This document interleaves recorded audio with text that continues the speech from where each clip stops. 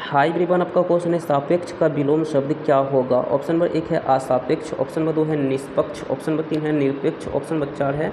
आपेक्ष तो सापेक्ष का उल्टा निरपेक्ष होगा ऑप्शन नंबर तीन हो जाएगा correct answer so thank you